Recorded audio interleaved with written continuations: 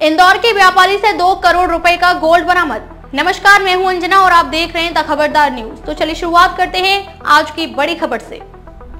Jabalpur police ने संदेह के आधार पर एक युवक को अभिरक्षा में लेकर जब उसके सामान की तलाशी ली तो उसके बैग में करीब साढ़े तीन किलो सोने के जेवर मिले हैं। युवक का नाम सौरभ जैन है, वह इंदौर का रहने वाला है। और अपने आप को सराफा व्यापारी बता रहा है।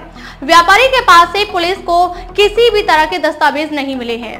गढ़ा पुलिस ने निर्वाचन विभाग की टीम सहित इनकम टैक्स को भी इस पूरे मामले की जानकारी दी है।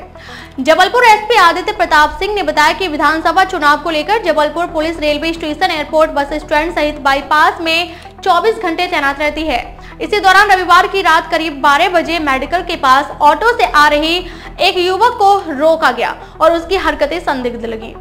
पुलिस ने जब युवक को ऑटो से नीचे उतारा और तलाशी ली तो उसके बैग में तीन किलो से अधिक सोने के जेवरात मिले। जेवरात की कीमत दो करोड़ रुपए से अधिक की बताई जा रही है। पूछताछ के दौरान युवक ने बताया कि वह मूलतः इंदौर का रहने वाला है और सराफा व्यापारी है। सौरभ जैन ने बताया कि वह अक्सर जबलपुर आता है और यहाँ पर व्यापारियों को सोने की जेवरात बेचा करता है। हालाँकि पुलिस के पूछने पर उसके पास जेवरात के कोई वैध दस्तावेज़ नहीं मिले हैं। सराफा व्यापारी सौरभ जैन ने बताया कि वह इंदौर से जबलपुर तक बस से आया था और फिर बाईपास से ऑटो लेकर जबलपुर शहर तरफ़ आ रहा था। इस दौरान पुलिस ने उसे पकड़ लिया।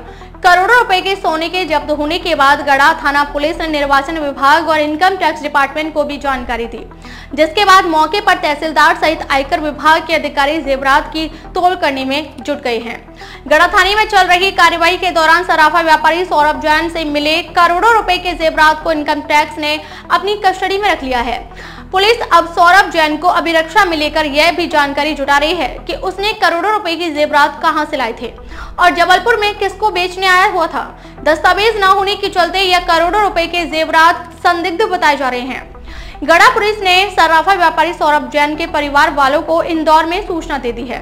पुलिस का कहना है कि यह देखा जा रहा है कि सौरभ के परिवार वालों के पास इन करोड़ों रुपए के सोने के जेवरात के वैध दस्तावेज़ हैं या नहीं। अब तक के लिए बस इतना ही। फिर मिलते हैं एक ऐसे ही बड़ी खबर के साथ। तब तक लिए नमस्कार और देखते रहिए द खबरदार न्यूज़।